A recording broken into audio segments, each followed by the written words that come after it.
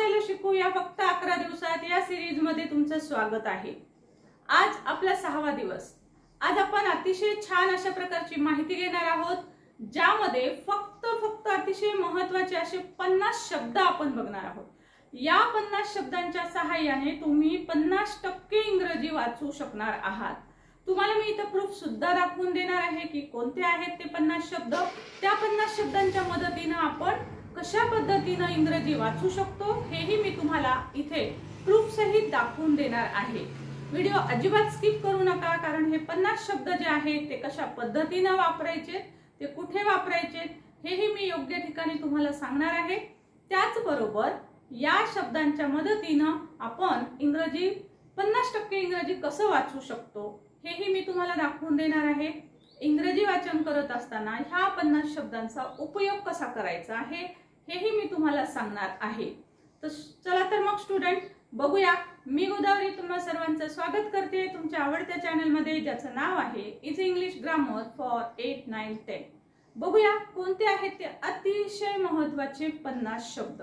हे पन्नास शब्द तुम्हाला केवळ इंग्रजी वाचनासाठी महत्त्वाचे नाहीत तर हे पन्नास शब्दाच्या सहाय्यानं तुम्ही इंग्रजीमध्ये लिहायला पण शिकू शकणार आहात. लिहिण्यासाठी पण ह्या पन्नास शब्दांची तुम्हाला खूपच मदत होणार आहे. आणि मी यांचे अर्थ पण सांगणार आहे.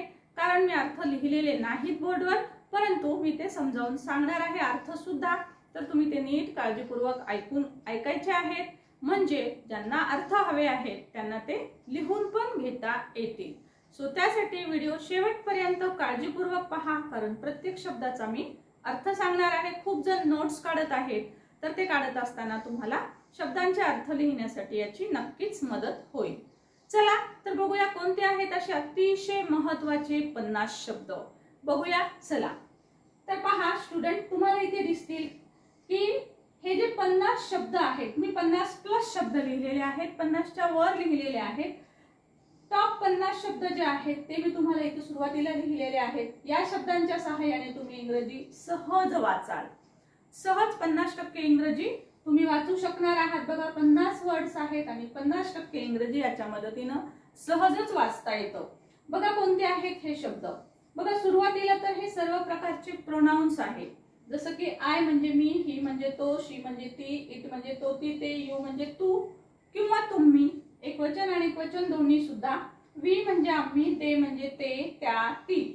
देचे तीन अनेक वचनी अर्थ होतात. ते त्या किंवा ती. म्हणजे ते म्हणजे अनेक जण असतील तेव्हा आपण ते म्हणतो ती. म्हणजे जर महिला तीन असतील किंवा त्यापेक्षा जास्त असतील एक पेक्षा जास्त महिला असतील त्यावेळेस त्या. असा अर्थ होतो तर ते त्या ती. अशा प्रकारे आपण योग्य तो शब्द वापरू शकतो. एम ई मी. मी मी म्हणजे मला. माय माय म्हणजे माझा माझी माझे. हीच म्हणजे त्याचा त्याची त्याचे. त्यानंतर बघा हिम हिम म्हणजे त्याला. हर म्हणजे तिचा तिची तिचे. देअर देअर म्हणजे त्यांचा त्यांची त्यांचे. युअर युअर म्हणजे तुझा तुझी तुझे. हे आहेत काही शब्द जे की प्रोनाऊन आहेत. वेगवेगळ्या प्रकारचे प्रोनाऊन आहेत. हे सुरुवातीचे जे शब्द आहेत आयपासून दे पर्यंतचे लिहिलेले तर हे तुम्हाला ऍज अ प्रोनाऊन वाक्याच्या सुरुवातीला दिसतील. जर जेव्हा जेव्हा नाम आणि नामाच्या ऐवजी आपल्याला शब्द वापरायचं काम पडतं त्यावेळेस हे सर्व शब्द जे आहेत दे पर्यंतचे म्हणजे I he she it you we they हे सर्व शब्द आपल्याला वाक्याच्या सुरुवातीला आढळून येतात. त्यानंतर बघा मी my his her their your हे जे शब्द आहेत तर हे तुम्हाला पॉझिटिव्ह आहेत हे. तर ते पॉझिटिव्ह प्रोनाऊन म्हणून सुद्धा वापरलेले दिसतात. जसं की माय बॅग युअर बॅग ठीक आहे? सो माझी वस्तू तुझी वस्तू सांगण्यासाठी आपण हे शब्द वापरत असतो. त्याची स्कूल बॅग त्याचा ड्रेस हर ड्रेस तिचा ड्रेस हिज ड्रेस त्याचा ड्रेस अशा पद्धतीनं. सो हे शब्द आपण वापरत असतो. त्यानंतर बघा एम इज आर हे सर्व जे आहेत ते मी इथे वर्ब लिहिलेले आहेत. हेल्पिंग वर्ब आहेत हे सर्व. हे सुद्धा अतिशय महत्त्वाचे आहेत. एम म्हणजे आहे इज म्हणजे आहे आर म्हणजे आहे किंवा आहे त वॉच म्हणजे होता वेअर किंवा वर ज्याला म्हणतो आपण तो होता होती होते. विल किंवा शाल या दोन्हीचा अर्थ असतो एखादी गोष्ट भविष्यात असेल होईल. नेक्स्ट आहे हॅव हॅड आणि हॅज हे तिन्हीचे अर्थ आणि विल हॅव शाल हॅव यांचा जो अर्थ असतो तो एखादी वस्तू आपली आहे माझी आहे जवळ आहे. हॅव म्हणजे माझी आहे हॅड म्हणजे माझी होती हॅज म्हणजे माझी आहे. एखादी वस्तू आपली आहे असं जेव्हा सांगायचं असतं तेव्हा आपण हे शब्द वापरतो. विल हॅव शॅल हॅव म्हणजे माझ्याकडे एखादी वस्तू असेल. म्हणजे आपली वस्तू एखादी असेल. I will have a new story book माझ्याकडे एक नवीन स्टोरी बुक असेल. तर तेव्हा आपण म्हणणार I will have a story book okay will have असेल. देन डू डज आणि डीड डू डज डीड हे जे आहेत महत्त्वाचे असणारे असे हे शब्दप्रयोग आहे डू डज डीड तर ही डूची रूपं आहेत आणि ही विशेष करून विशेष करून ही जी डूची रूपं आहेत ती प्रश्नार्थक वाक्यामध्ये आपण वापरत असतो आणि निगेटिव्ह वाक्यांमध्ये. ओके सो सध्या तुम्ही फक्त ह्याचा उच्चार लक्षात घ्यायचा आहे. डू म्हणजे करणे डज म्हणजे करणे हाच अर्थ असतो. परंतु हे प्रश्नार्थक वाक्य बनवत असताना आणि निगेटिव्ह वाक्य बनवत असताना वापरत असतात. देन पुन्हा बघा आपण हे काही शब्द पाहत आहोत. हे सर्व जे शब्द आहेत साधारणतः याच्यामध्ये मी प्रिपोजिशन लिहिलेले आहेत आर्टिकल लिहिलेले आहेत. तर हे प्रिपोजिशन जे आहेत तर त्याचे विशिष्ट असे अर्थ असतात. In at of on in म्हणजे च्या आत असणे. ऍट म्हणजे च्या कडे ऑफ म्हणजे चा ची चे ऑन म्हणजे वर चिकटून वर. फॉर फॉर म्हणजे च्या साठी च्या करिता. फ्रॉम म्हणजे पासून F R O M from म्हणजे पासून अप म्हणजे वर अपॉन म्हणजे सुद्धा वर विथ विथ म्हणजे च्या सह च्या बरोबर. ए ज्याला आपण a pen I have a pen a pen a म्हणतो तर अ म्हणजे एक. एक किंवा दोन अशा वस्तू जेव्हा आपण काउंटेबल वस्तू असतील तर त्यावेळेस एक वस्तू सांगायची असेल तर आपण एक किंवा अॅन हा शब्द वापरत असतो ज्याला आपण अ म्हणतो आणि अॅन सो अ किंवा अॅन हे दोन्ही शब्द एक या अर्थाने जनरली वापरले जातात. त्यानंतर आहे द शब्द. जगातला सगळ्यात जास्त वापरला जाणारा हा शब्द आहे द. ओके? लक्षात ठेवा जगातला सगळ्यात वापरला जाणारा शब्द हा द आहे. पण द साठी विशिष्ट असा अर्थ आहे असं म्हणता येत नाही. त्या त्या अर्थानुसार तो तो वह असा अर्थ त्याचा होत असतो. जसं की द बुक द बुक म्हणजे पुस्तक. पण कोणतं? ते पुस्तक. ते पुस्तक म्हणजे ज्याचा अगोदर उल्लेख झालेला असतो त्याच्याबद्दल पुन्हा द हा शब्द वापरून त्याच्यापुढे नावून घेत असतात. The book the pen the book म्हणजे ते पुस्तक. ते म्हणजे ज्याचा उल्लेख अगोदर आलेला आहे अगोदरच्या वाक्यात. सो अशा वेळेस द वापरत असतात. द ला नेमका अर्थ म्हणता येत नाही पण अगोदरच्या नावानुसार तो अर्थ घेता येतो. त्यानंतर बिन बिन पण हे एक बीचं रूप आहे. त्यानंतर बघा this that these those there हे सर्व जे शब्द आहेत हिअर देअर हे सर्व सब्जेक्ट म्हणून वापरल्या जातात. तर एखादी वस्तू जवळची दाखवायची असेल एक वस्तू तर दिसा दिसचा वापर केला जातो. जवळच्या अनेक वस्तूंसाठी दीजचा वापर केला जातो. दॅट म्हणजे लांबची एक वस्तू दाखवायची असेल तर दॅट वापरल्या जातं. एक वस्तू दाखवण्यासाठी. दॅटचा अनेक वचन असतो दोज. तिथे दोन वस्तू आहेत. Those are chairs. त्या खुर्च्या आहेत. मग लांबच्या दाखवायच्या. लांबची वस्तू दर्शवण्यासाठी दॅट आणि दोज हे शब्द वापरत असतात. दॅट एका वस्तूसाठी वापरतात दोज अनेक वस्तूंसाठी वापरतात. तर त्यावेळेस आपण सपोज आपल्याला असं सांगायचं आहे की this is a board so हा एक बोर्ड आहे. पण तिथे झाडे आहेत. तर मला सांगायचं आहे की दोज आर ट्रीज. बघा ते झाडं आहेत. सो अशा प्रकारे ह्या शब्दांचा वापर होत असतो. दिस म्हणजे हा ही हे दॅट म्हणजे तो. तिथे दीज म्हणजे हे ह्या ही. अनेक असतील तेव्हा. दोज म्हणजे ते त्या ती. अनेक वस्तू असतील देअर देअर म्हणजे तेथे. समजा एखादी वस्तू एखादी गोष्ट तिथं आहे असं जेव्हा सांगायचं असतं suppose there is a temple there is a tree there is a house अशा प्रकारे एखादी गोष्ट सांगायची असेल देअर इज अ गार्डन तर तिथे काय आहे? तर तिथे ज्या ज्या वस्तू आहेत त्यासाठी देअर वापरत असतो आपण. हिअर म्हणजे इथं. असं आपण म्हणू शकतो की हिअर इज अ बोर्ड इथे एक बोर्ड आहे. ठीक आहे? असं आपण म्हणत असतो बोली भाषेत. तेव्हा हिअर हा शब्द पण वापरत असतात. हिअर म्हणजे इथे. बट बट म्हणजे परंतु. अँड माहिती आहे तुम्हा सर्वांना? अँड म्हणजे आणि. मे कम गो यासारखे क्रियापद सुद्धा खूप वेळेस नेहमी नेहमी वापरले जातात. मेक म्हणजे करणे बनवणे कम म्हणजे येणे गो म्हणजे जाणे नाव नाव म्हणजे आत्ता.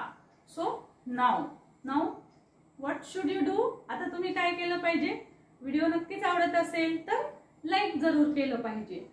आता तुम्ही म्हणाल स्टुडंट्स की हे एवढे सारे शब्द मॅम तुम्ही का सांगत आहात? तर हे अतिशय महत्त्वाचे टॉप फिफ्टी वर्ड्स आहेत. या वर्ड शिवाय तुम्ही इंग्रजीचं कोणतं पानच हलू शकत नाही. कसंच नाही. तुम्ही वाटल्यास असे शब्द तुमच्या टेक्स्टबुकमध्ये काढून टाका लपवून ठेवा. मग बघा की त्याला कुठला अर्थ प्राप्त होतो का? एखादं वाक्य तयार होतं का? तर नाही होऊ शकत. ओके? सो तुम्हाला हे शब्द खूप महत्त्वाचे आहेत. त्यानंतर बघा इकडे काही मी काही वर्ब लिहिलेले आहेत मोडाल्स लिहिलेले आहेत. हे जे मोडाल्स वर्ब आहेत तर ह्याला विशिष्ट असे अर्थ असतात. इन डिटेल नाही जाणार आहे याच्या कारण याच्यासाठी आपल्याला बऱ्याचशा गोष्टी ज्या आहेत त्या शिकाव्या लागणार आहेत. So can put may might, must should would, know know म्हणजे माहीत असणे जाणणे हा शब्द मुलांना माहीत असणं गरजेचं आहे. हा आजचा जो व्हिडिओ आहे आपला तो लहानांपासून मोठ्यांपर्यंत सगळ्यांना उपयुक्त ठरणारा आहे. कारण याशिवाय कुठलेही इंग्रजीचे वाक्य बनवता येतच नाही. सो नो डोंट हा पण पुन्हा पुन्हा येतो शब्द. टू टू दोन वेगळ्या प्रकारचे टू आहेत. व्हेरी व्हेरी पण हा नेहमी वारंवार येणारा शब्द आहे. आता तुम्ही म्हणाल मॅडम ह्या पन्नास शब्दांच्या सहाय्याने पन्नास टक्के इंग्रजी आपण कशा पद्धतीनं बोलू शकणार आहोत?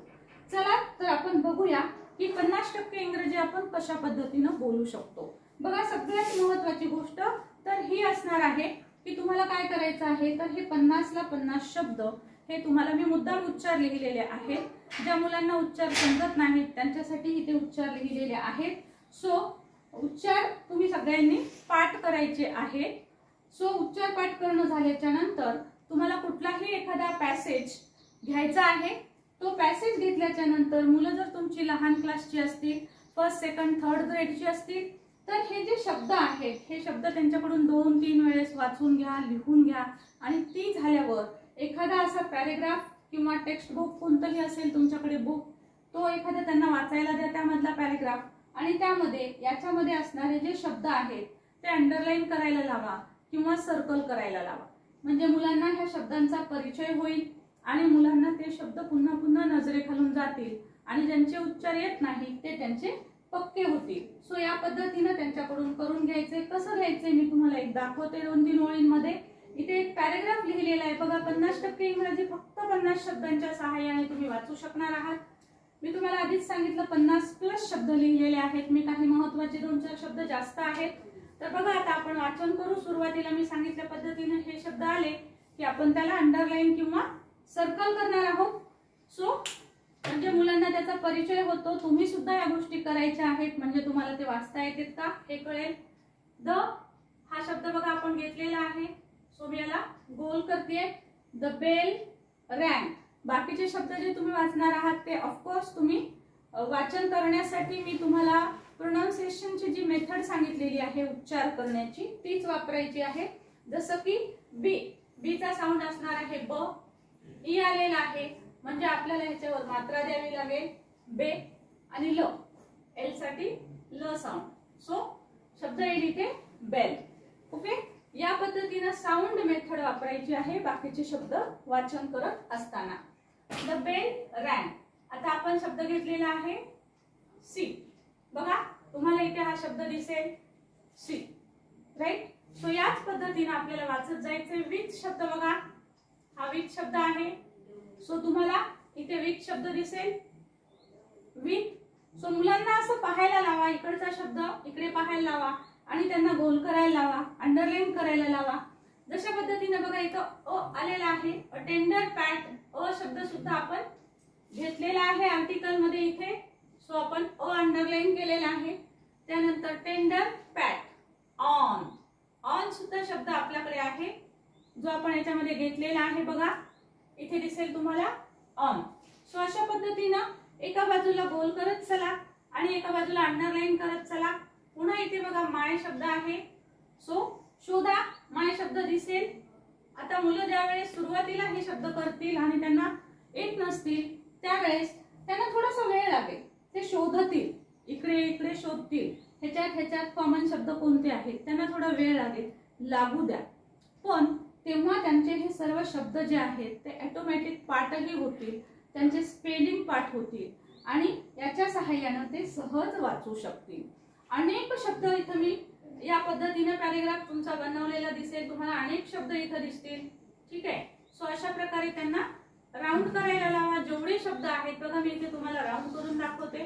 तुम्हाला आपोआप लक्षात येईल की पन्नास टक्के इंग्रजीत मध्ये कशा पद्धतीनं हे शब्द असतात.